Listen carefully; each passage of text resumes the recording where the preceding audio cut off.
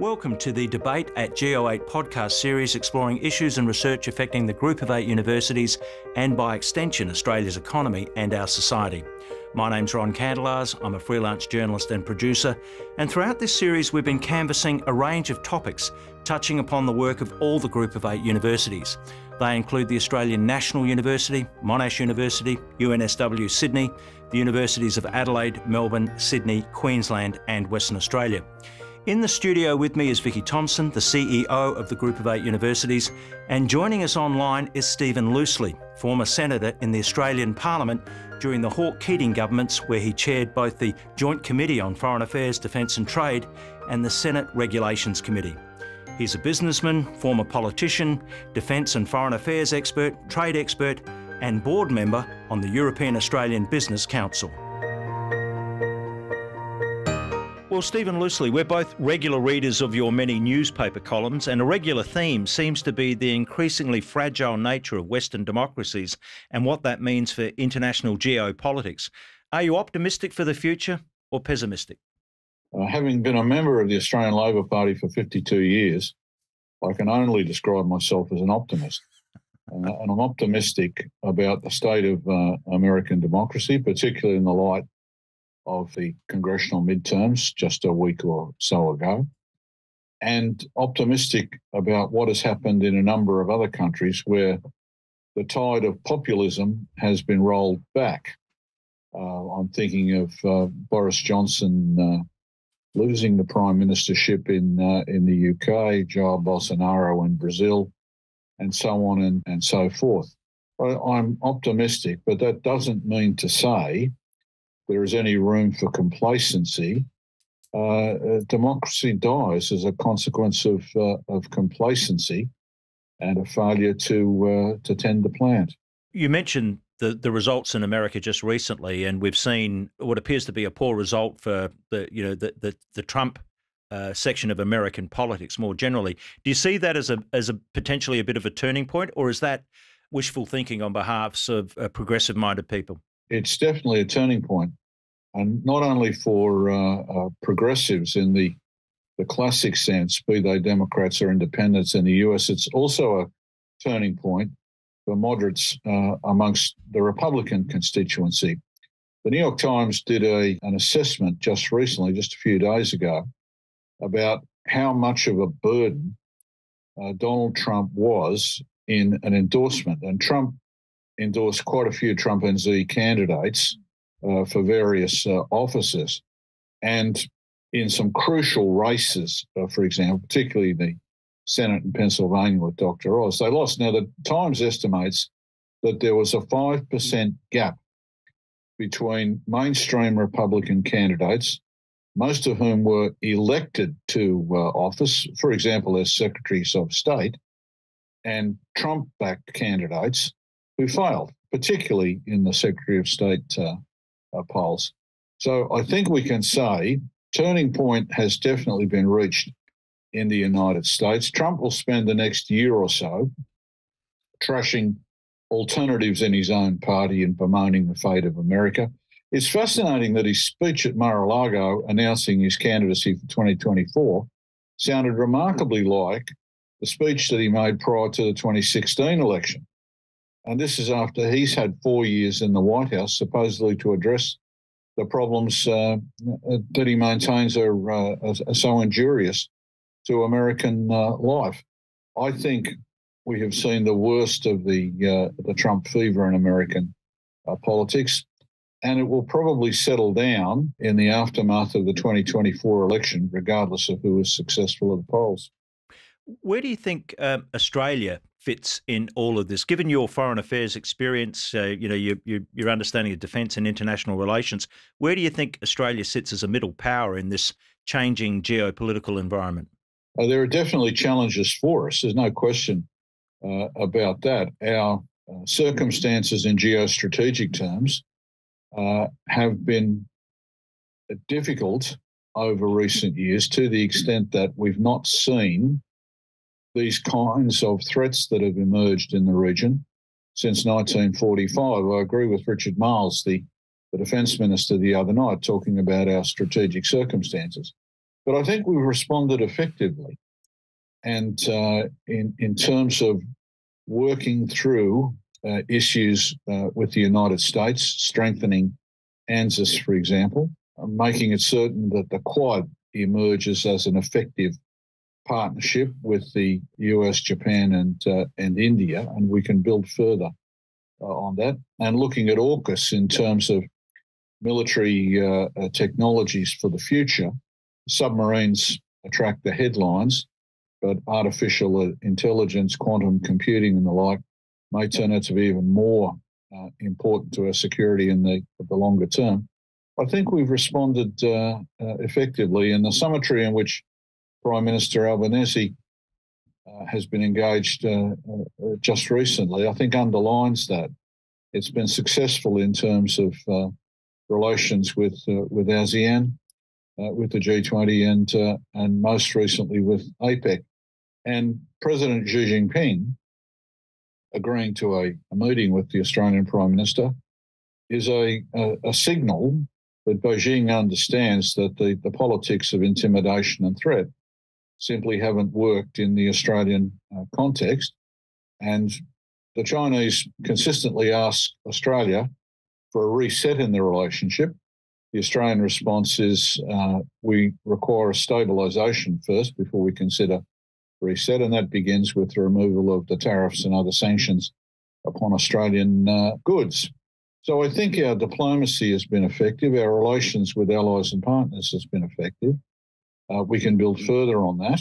At the moment, the challenges are there, but I think we've addressed them uh, in reasonably robust terms. I was uh, uh, just uh, in London a few weeks ago at a NATO-oriented conference, and how we deter war in the 21st century. And the Japanese delegate and I, without breaking the confidence of the meeting, consistently argued for an approach with NATO plus in focus. That is, looking at Japan, Korea, Australia, New Zealand, as well as the, the NATO countries, which is accepted. And uh, we saw in Madrid the NATO uh, powers inviting uh, representation from Australia, from Japan, and other Indo Pacific countries. And I think that's a, a sign that there's a global response uh, to the challenges emerging from dictatorships, particularly from Russia uh, in Ukraine and from China in the uh, East China Sea and the, the South China Sea. And from, from some of these dumpster despotisms, uh, uh, like the Iranians, with their export of the weapons of uh, of war. So optimistic, but no room for complacency. I note there was commentary actually just very recently about AUKUS and bringing in Japan into that that context as well, beyond the Quad relationship. How do you think that would play out? I think the closer the relationship between Australia and Japan, the better. It's in uh, Japan's interests and Australia's interests. And we are very close on a lot of issues. If you look at the recent meeting between the Japanese and Australian prime ministers in Perth and the communique that was uh, issued, it is very close to the language of ANZUS uh, itself.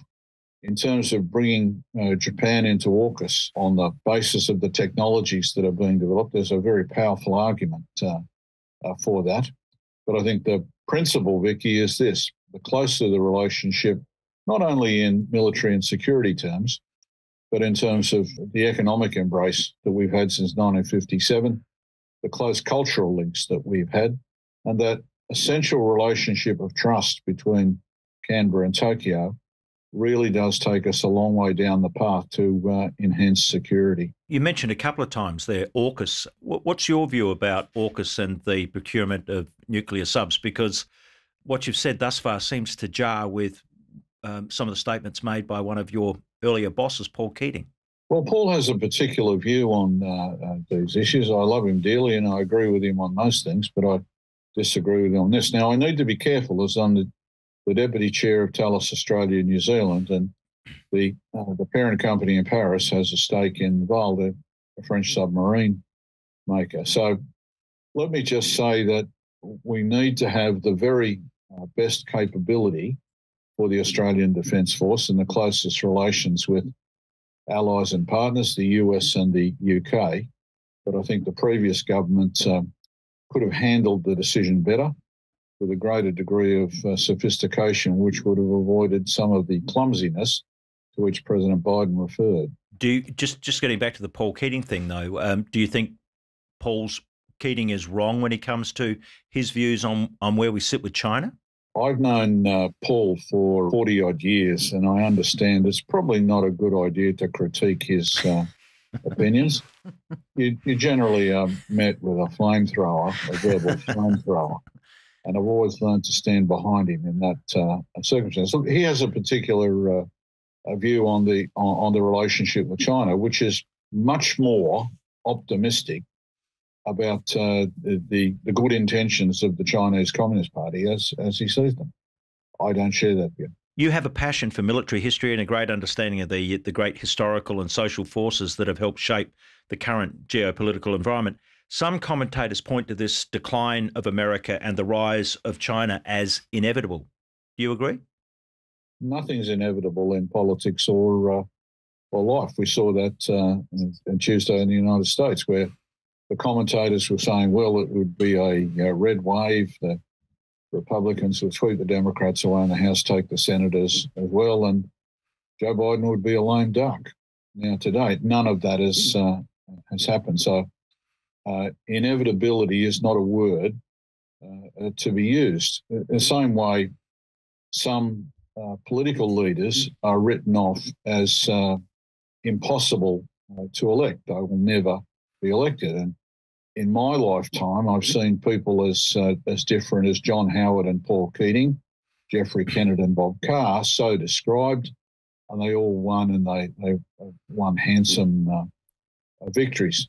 China's rise is to be welcomed in in terms of lifting tens of millions of people out of poverty, uh, and hopefully China becoming a, a, responsible player on the global stage, and that that um, was certainly hoped earlier this uh, this century. Now, uh, the United States was described by a French socialist, Hubert Védrine, at the beginning of this century as the hyperpower.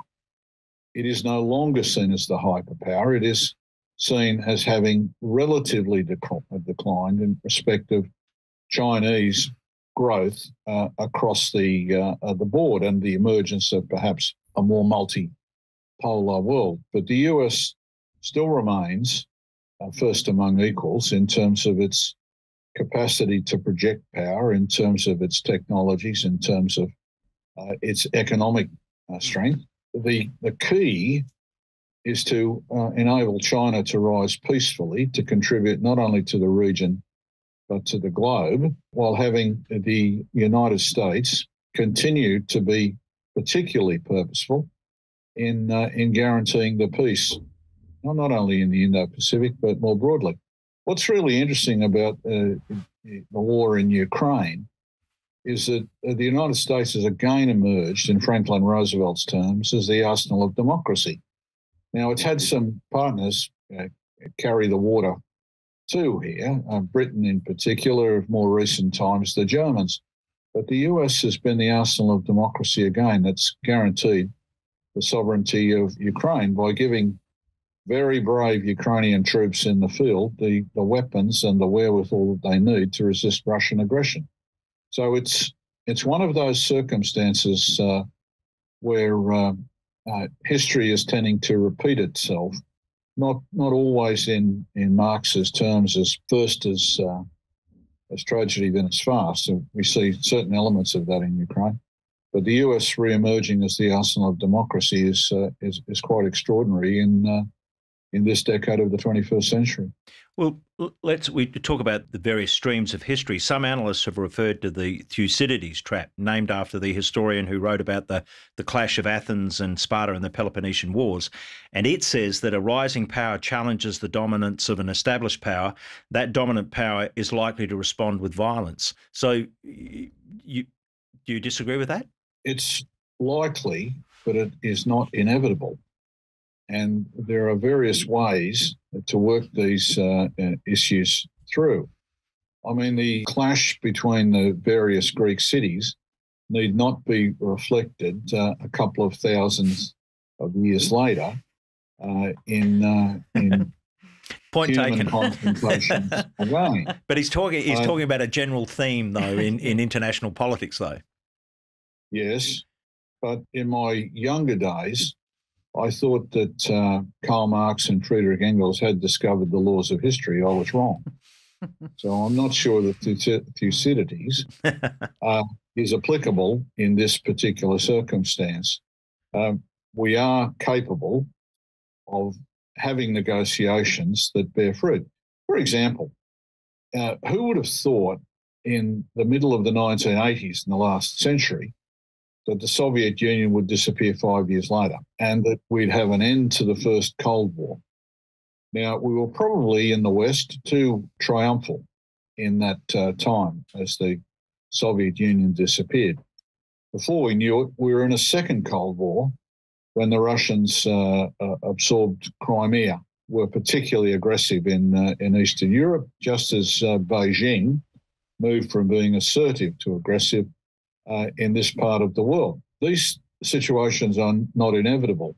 Putin then misreads the preparedness of the West to defend our, uh, our values. Did Xi misread the West in terms of Taiwan? Well, perhaps, but we haven't seen the kind of reckless behavior that the Russians have displayed uh, in Ukraine. We haven't seen an effort to uh, to mount a cross straits invasion or lock uh, Taiwan down with uh, with air and sea uh, declarations uh, by China of of control. So there's always room to negotiate, and the fact that President Biden and President Xi had a three-hour meeting the other day is a is a positive sign. I've always agreed with Winston Churchill. Far better to jaw jaw than to war war. You have a, a, a good understanding of universities more generally. You're a visiting fellow of the US Studies Centre at Sydney University, so you're well versed in the world of universities. I want to ask you in this uh, podcast series, we've often talked about the role of higher education when it comes to soft diplomacy. Do you see the universities playing an important role in this regard in some of the, the issues that we've just spoken about? Oh, yes, uh, and a greater role. And Australian universities have the capacity to play a greater role. Uh, Vicky mentioned this to me the other day, and I was just thinking it through in terms of what emerges from Ukraine after there is a peace settlement of sorts, and there will be a peace settlement of sorts. It might be months or a year down the track, but it will come. So we're going to have a series of Ukrainian universities that have been damaged, perhaps very badly, in the uh, in, the warfare that the Russians have unleashed. Why wouldn't Australian universities be in the foreground of helping to rebuild, not only in terms of the bricks and mortar, but in terms of the, the courses right across the, the board, be it medicine or, uh, or philosophy? Uh, why wouldn't Australian universities be in the foreground of having Ukrainian students welcomed into our, uh, lecture halls and, uh, and tutorials and uh, helping a new uh, cadre of uh, intellectuals in Ukraine who can serve uh, their people and who can take Ukraine to the world. I mean, I think that's something that Australian universities would be well advised to start thinking about now. I can tell you we are thinking about it. We're definitely thinking about it, Stephen.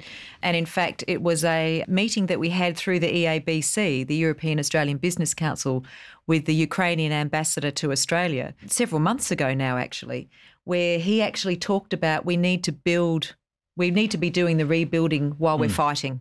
And, and those words really stuck with me in terms of, well, what can we do as universities, apart from obviously offering uh, some moral support to the thousands of scientists and researchers who've been displaced and universities which, you know, literally have been destroyed. And so, certainly from our perspective, from the Group of Eight's perspective, that's something that we are looking at in terms of what support we can offer. And it's always strikes me as just, it's very heartwarming actually that we seem to be, you know, Australia is so far away from everything, but we still have a capacity to have such a huge impact hmm. in Ukraine Yeah. you know, in this case or in other areas that it, it, you know histo- history will show that. And I think that is true for our international education and research piece as well, not just in our region but globally. We have the capacity to use the soft diplomacy of educating hundreds of thousands of students and doing global research with global partners. And we've talked about that with preeminent researchers in the past. And taking, they then take out from us, mm. from Australia, our, our way of life, our learnings, our thinking. And that has to have a positive influence. So I think we are picking that up, Stephen, and that's a result of the European Australian Business Council dialogue we had with the Israeli ambassador. Of which but, you're a board member, right, right, Stephen? Yes, I am. I'm very pleased to play a modest role. Yeah. So, and, and we saw in years previous where the Morrison government seemed to have, you know, a, a particular view about Chinese students and the uh, dangers thereof and all that sort of thing. And, and, it, and it, it was a very testy relationship. Do you think that with the new government, with the Albanese government, we're getting a rethink on on how universities can play a role with, with their student populations more generally, with soft diplomacy, devel- developing relationships between countries? I, I, believe so. And I've known uh, Jason Clare, the education minister, for decades. He's a very decent individual, a very thoughtful individual. I, I make no criticism of his immediate predecessors on the coalition side, but there's no question but some in the previous government simply saw Australian universities having a target on them and wanting to score points that they thought would uh, assist them electorally, uh, domestically. Now, I think that is gone. I don't uh, detect that, uh, though you see a fairly constant diet of stories about uh, alleged woke excesses on university campuses and so on. I mean, I think we just have to be more confident in the sector. There was a, former American ambassador, a, a, very decent individual, A.B. Culvahouse, who said that he thought the United States had more confidence in Australia than Australians had in ourselves. That's probably true, and it applies in the university sector as in so many other sectors of our uh, our, our, public life. So, what uh, Vicky's talking about is is great news, and let's see that through and see how we contribute in the in the rebuild. And it's an exercise in Australian soft power, but it's an assertion of our preparedness as a democracy to do the right thing for people who've uh, who've really stood up to defend the fledgling democracy in Ukraine. We mentioned there the, the Albanese government. You you recently compared the early days of the Albanese government to the first days of the Whitlam government. What did you mean? It was um, topical in the sense that it was uh, not long after it was revealed that Scott Morrison, for uh, very odd reasons, had had himself sworn in uh, by the Governor General to a number of, portfolios without uh, telling the existing ministers or the cabinet or the parliament or indeed the Australian people what he was doing. I was surprised that he hadn't actually had himself sworn in as Governor General. It would have cut out made life easier. and it's very odd behaviour. And I remembered that when the Whitlam government was elected December 2nd, 1972, Gough Whitlam and his, his deputy, the deputy PM, Lance Barnard, uh, had themselves sworn in and covering all the portfolios in the uh, in the new government. But they told everybody it was was made public, and they then proceeded to say, uh, "This is our platform. This is the Federal Labor platform. This was our manifesto. This is what we campaigned on. We have a mandate and we're going to implement. And they did.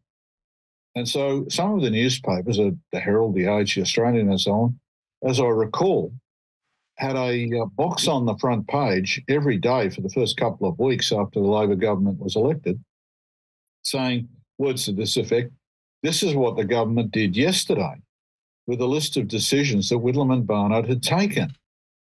And those decisions stood the, the test of time. And I thought that was uh, the best example of a translation by federal Labor from opposition uh, to government that I could recall. I thought it was better than the Hawke translation that was very good. Uh, certainly better than the, the Rudd translation. A little bit of stumbling there.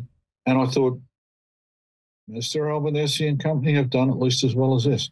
And that's what I meant. Um, you can do a lot of things in politics if you're open about it. Yeah. Uh, if you try and cover things up, you are going to be caught and generally humiliated. And I think so that has been a, yeah. an early hallmark, actually, of the government. Uh, even from the perspective you, you, mentioned, Ron, the kind of the, the, the the constant tension that there was with the previous government, but also just transparency. I mean, they haven't overpromised on anything. In fact, I'm talking about our sector here. They've been very upfront with us. We've just had the announcement of a, an accord process for the university sector, a major review. It'll be really the first major review since the Dawkins reforms in the 80s. But the expectation management is real, and the minister has said this is not necessarily well, it will be about money in the end, but but that's not our starting point. It's about is this system fit for purpose mm-hmm. and what do we need to do to shift it? And then we'll look at the funding side. And so I think it's incumbent upon us as a sector and others, and in fact there are business people on the on the panel that that will lead that accord, to be very bold with the sorts of things that we think we want because the Dawkins era was fit for purpose for that period. But he will say now, and he has said this to me, he didn't think that that reform would last 40 years. You know, we haven't had significant reform in our sector. And of course, we're far more externally facing. We're very internationalised. We weren't as internationalised 40 years ago to that point. I don't think we'd even be having a discussion 40 years ago about whether universities could help rebuild Ukrainian uh, universities, for example. So that's just one example of how different we are now and how broad our scope is. Yeah. Um, it's an interesting feature of our history, Vicky, that the temporary becomes permanent. I remember the, the Dawkins reforms. I remember ALP national conferences. I supported Joe Dawkins at the uh, at the time, but I always remember Parliament House Canberra of 1927 was still Parliament House Canberra in 1988, mm. even though it was supposed to be a temporary building. We we seem to have embraced the idea that uh, once we've done something, well, we say, okay, get on with it. Richard done. Marles actually said that about the defence budget the other night at the Sydney Institute uh, uh, dinner. You have to inject into the process a, a, a, quality control, not just say, here's your budget, get on with it. Um, so I'm pleased about the review in, uh, in the tertiary sector. Mm. So, how do you think the Albanese government is performing overall? When you made that that comparison between Whitlam and Albanese, I, I had in mind also that that the Albanese government has come into into power at a time when there are big economic uh, issues at play, a difficult uh, international environment, inflation, etc. Uh, some of these things were the same things that Whitlam had to face at that time, but, but the Albanese government seems to have hit the ground running.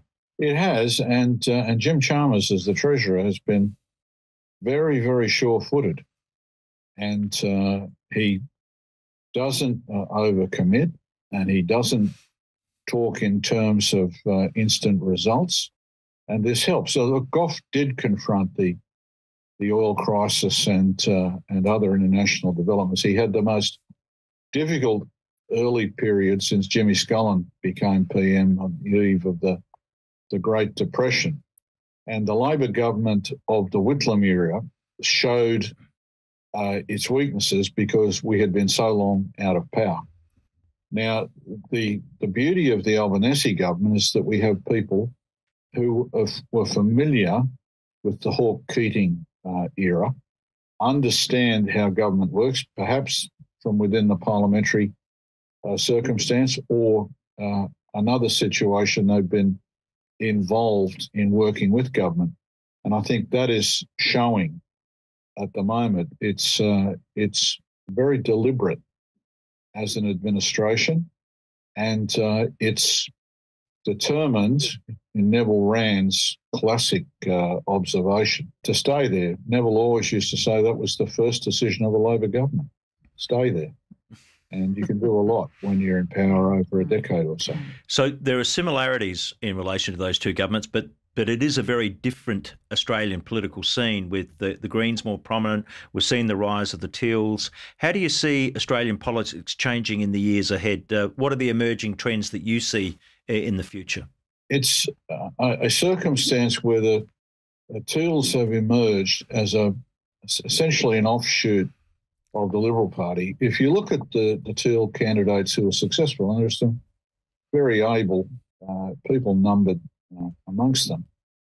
Most of them should have been the endorsed Liberal candidates for those seats, uh, but uh, they were not, and the electorate reacted accordingly. Some of that is a uh, response to Scott Morrison's essential boganisation of the uh, uh, of the coalition, walking around the parliament carrying a lump of coal and and this sort of nonsense.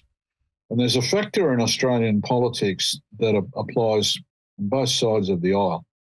That is, if you dodge a bullet as a government at one election, you will cop a shotgun blast at the next. Now, that certainly happened to the Keating government, winning in 1993 when it was expected to lose, and being blasted in 1996, as Wayne Goss's memorable, memorable uh, observation that people in Brisbane were waiting with baseball bats for Wayne Swan and Kevin Rudd. Actually, they were waiting for Paul at the time. So Morrison wins an unexpected result uh, three years ago and is blasted uh, at the uh, at the next poll. It, there is a, a continuing focus on candidates rather than parties. In the United States, it's now a circumstance where in most polling, people are 30% identified as Democrats, 30% as Republicans, 40 as independents. And that's what's happening in Australia in both the House and in the Senate. And that's likely to be reinforced, I suspect, at a state level in both Victoria and New South Wales, where elections are, uh, are very much either immediate or on the horizon. And people are focused upon candidates and issues rather than the, the general cultural embrace of a political party. So, how does that work then for you know a workable government in future? Are you are you optimistic about that in the long term? I I am. I mean, I've always said Chris Bowen is forever quoting John Curtin on this, and he, he's right. Labor governs alone or not at all. The commentary of the right calls the government in Canberra a Labor Greens coalition. It's not.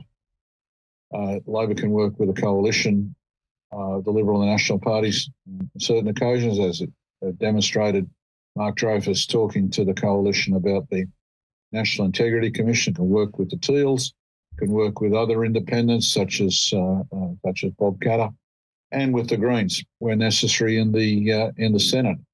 But Labor has got to demonstrate fundamental commitments and fundamental beliefs in order to be able to negotiate and and where necessary to amend and to the trade. Exactly the same with the coalition. Peter Dutton will find this. Uh, so I, I think we have a circumstance in which there will need to be a greater flexibility in our system of government and a greater preparedness in the uh, in the parliament to see things in terms of what may be achieved rather than uh, what uh, a particular party platform lays down. Stephen Loosley, thanks very much for your time. Time is against us now, but it's been an all-encompassing chat about many things, including Thucydides. Um, thank you for your insights. It's been wonderful. Ron, it's an absolute pleasure. Thank you. Thanks, Stephen. Vicky, thank you. Thanks for your company today. If you'd like more information about the issues raised in this podcast or other related topics, please visit our website at go8.edu.au.